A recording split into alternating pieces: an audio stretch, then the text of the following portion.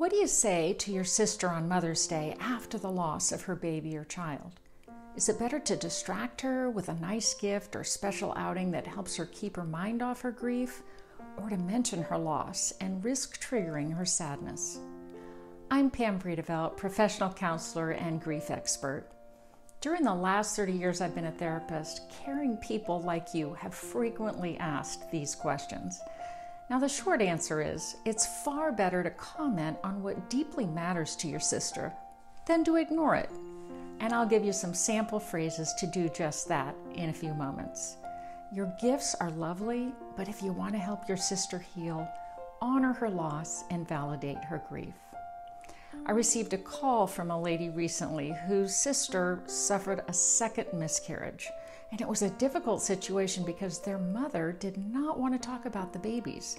She thought it was just better to not talk about it, stay busy, move on, and kind of get back to normal. Now, the problem is, in the wake of a sudden loss of a baby, normal ceases to exist. You just don't ever go back to who you were before your loss. You're forever changed. And the woman was really worried about her sister because both their mother and the sister's husband had shut down. He just said he was done talking about it. So, this gal was her sister's only touchstone for sanity, the only family member who was willing to share her sister's heartache. Unfortunately, this scenario is all too common. As a culture, we struggle to handle and help those around us who are grieving. We shy away for fear of saying something wrong, but the truth is, there is always a risk of saying something wrong. But you know your sister, and your sister will know that you are trying and that you care. Mother's Day is just around the corner, and it's a day that tends to trigger an emotional ambush of grief. All that pain can suddenly just erupt, seemingly out of nowhere, and with an intensity that feels like her loss just happened yesterday. Here's the good news you are in a strategic position to be able to make a huge difference in your sister's day. You can confidently offer her hope and healing using any of the phrases we're going to suggest. Your sister's grief doesn't need a solution, it simply needs to be noticed and validated by your compassion. That's right, Jesse. And a little word of caution here be gentle in your approach.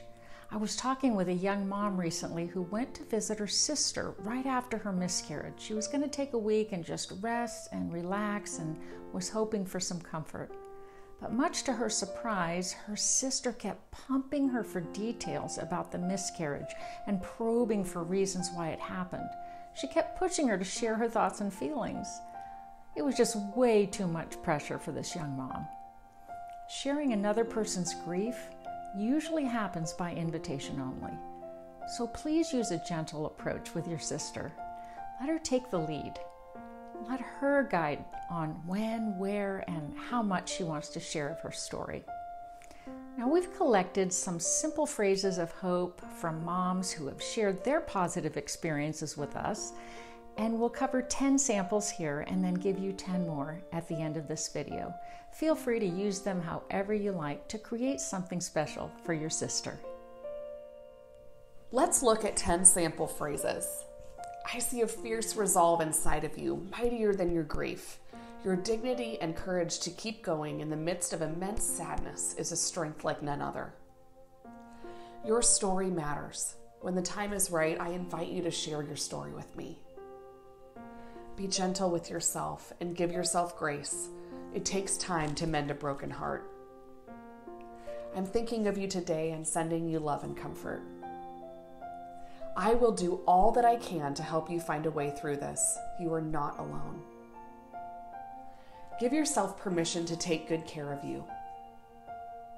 I'm not afraid of the dark. I'm with you and I will stick with you through it until the light shines in your heart again. It's okay to not feel strong, but I'm hoping you feel especially loved today. I'll cry with you until we run out of tears. We'll walk this healing path together. How very softly you tiptoed into our world, almost silently. Only a moment you stayed, but what an imprint your footsteps have left upon our hearts. I will give you treasures hidden in the darkness, secret riches. I will do this so that you know that I am the Lord, the one who calls you by name. If you'd like more ideas on how to create a customized card using your sister's name, check out video one where Jesse and I show you how to share healing words using the letters of a name. Something similar can be done for your sister as well. You can also get a tip sheet from this video, 10 more healing phrases, and some colorful printables with messages of hope. Simply go to pamvredevelt.com and click on Gifts in the upper right hand corner. You'll find them there. Seven unique videos are available in this series, filled with practical tips about what friends, family members, and community leaders can say around Mother's Day to honor moms who have experienced a loss we invite you to pass the videos on to others who may find value in them. And personally, Jesse and I want to thank you for taking time to share healing words with the moms you know and love. A little bit of your time and compassion can make a huge difference in how she experiences Mother's Day. Until then, take good care.